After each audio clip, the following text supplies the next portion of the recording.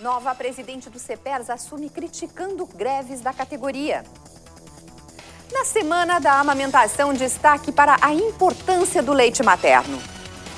Número de jovens aptos a votar no Rio Grande do Sul diminui quase 50% na eleição deste ano. Projeto de revitalização pretende modernizar viaduto Otávio Rocha no centro da capital. Este é o Jornal da TVE que já está no ar.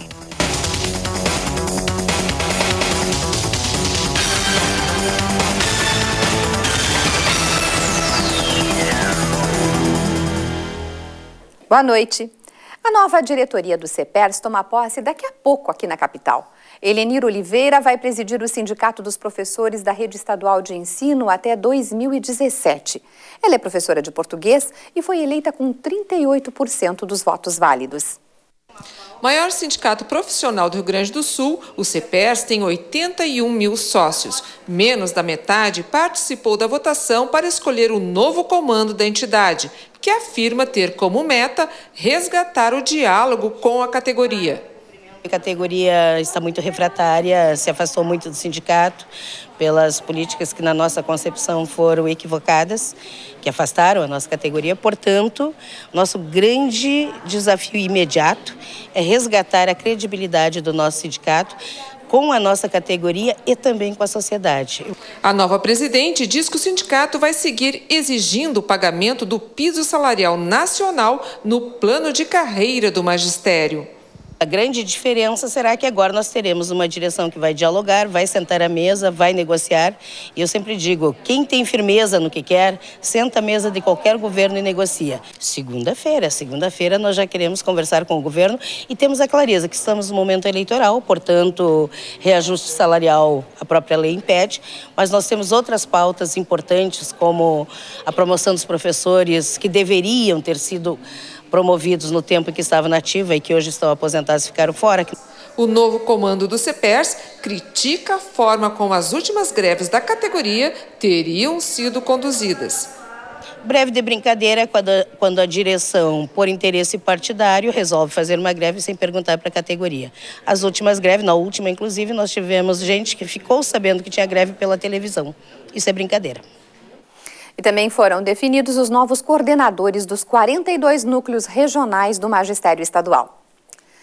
E o número de gaúchos entre 16 e 18 anos aptos a votar em outubro diminuiu quase 50% aqui no Rio Grande do Sul em relação ao pleito de 2012. As eleições deste ano devem ser a menos jovem da última década.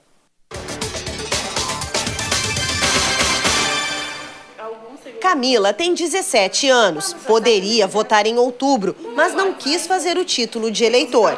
Diz que tem outras prioridades e não se sente motivada pela política. Talvez se não houvesse corrupção e fosse opcional, até depois dos 18 anos, as pessoas tivessem vontade de votar. Segundo o TSE, esta vai ser a eleição menos jovem dos últimos tempos. A quantidade de eleitores entre 16 e 17 anos que não têm a obrigação de votar caiu de 2 milhões e 300 mil nas eleições de 2010 para 1 milhão e 600 mil este ano. No Rio Grande do Sul, a queda foi ainda maior. Os jovens com título de eleitor, que correspondiam a 1,4% do total de eleitores em 2010, agora são apenas 0,8%. Ou seja, eles eram 116 mil nas últimas eleições e agora serão apenas 67 mil. Acredito que ele não esteja estimulado o suficiente para que participe efetivamente dessa forma. O que me parece importante é que esse era um dos motes das nossas campanhas, ou seja, fazer com que ele sinta aquela primeira eleição como uma, uma, uma vamos dizer assim, uma participação efetiva e até inesquecível. Mas se não irão às urnas, eles estão nas ruas. Os jovens gaúchos iniciaram os protestos por melhorias no transporte público, que se transformaram em grandes manifestações por todo o país.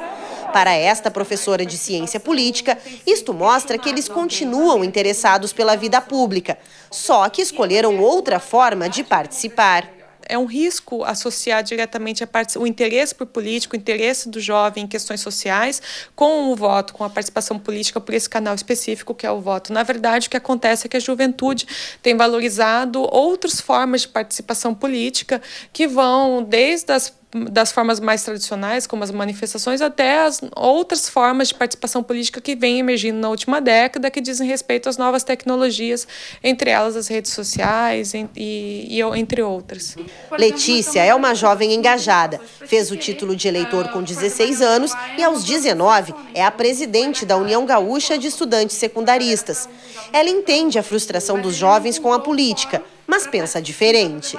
Na verdade, é o jeito errado de estar fazendo isso, né?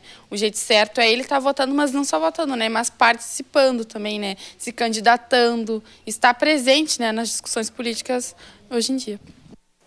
O prazo judicial para execução da reintegração de posse do terreno da antiga fábrica da Avipal, na Zona Sul de Porto Alegre, venceu ontem, mas as famílias que ocupam a área permanecem no local. Um acordo selado em reunião realizada hoje no Ministério Público Estadual suspendeu a desocupação até um novo pronunciamento da Justiça. No encontro, ficou decidido que o Ministério Público Estadual vai apresentar um pedido de suspensão da reintegração de posse. A área mede 10 hectares e está ocupada por cerca de 500 famílias. Desde 2008, em função das obras do Programa Socioambiental, o PISA, está prevista a remoção das cerca de 1.700 famílias que moravam às margens do Arroio Cavalhado. A Prefeitura priorizou a obra do dique do Arroio Cavalhado sem priorizar as famílias que estavam à beira do arroio. Aproximadamente metade dos antigos moradores já deixou o local, com a ajuda do aluguel social e bônus moradia. Mas essa solução não foi aceita pelo restante das famílias, que preferiram aguardar a construção de habitações e, há cerca de duas semanas, ocuparam o terreno da antiga Vipal. O vice-prefeito, Sebastião Melo, diz que a prefeitura está aberta ao diálogo, mas que é preciso observar a ordem do cadastramento das famílias. Segundo ele, a prefeitura tem um limite para a negociação. O governo tem orientação nesse sentido. Primeiro, as famílias bom, podem se organizar e fazer a sua cooperativa, comprarem a área. Bom, aí o poder público começa a agir. Agora, o poder público não vai fazer é fazer o cadastramento das pessoas ou adquirir a área, porque senão nós vamos furar a fila. A Secretaria da Segurança Pública divulgou hoje os dados estatísticos do crime no Rio Grande do Sul referentes ao primeiro semestre deste ano. Conforme o levantamento, o número de homicídios no estado aumentou quase 22% nos primeiros seis meses do ano em relação ao mesmo período de 2013. Também houve incremento de 12,7% nos casos de roubo, 9,5% nos furtos de veículos e quase 9% nos roubos de automóveis.